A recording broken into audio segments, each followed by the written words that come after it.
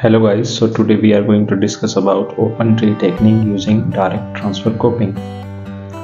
First of all, read the laser marking on the top of the healing abutment to verify platform size, emergence and collar height of abutment.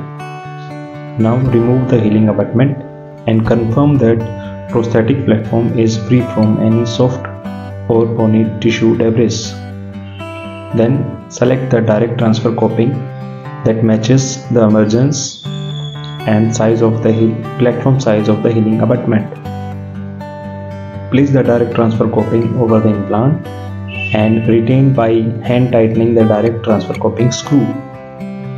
Try and custom the impression tray or modify the stroke tray to verify that coping screw protrudes through the tray without interference.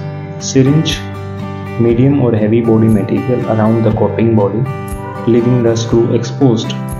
Load the impression tray with material and make the impression. Once the impression material has set, remove the coping screw by hand and remove the impression tray.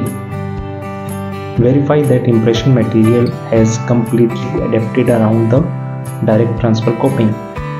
Replace the healing abutment immediately to prevent the soft tissue from collapsing over the implant.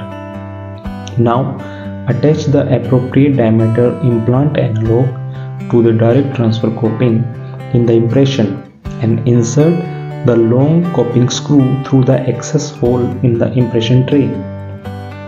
Now hand tightening the coping screw.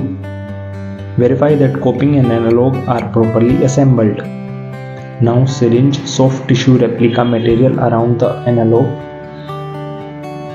Fabricate a working model using minimum expansion, high hardness die stone. Articulate the model for normal laboratory procedures. Thanks for watching this video.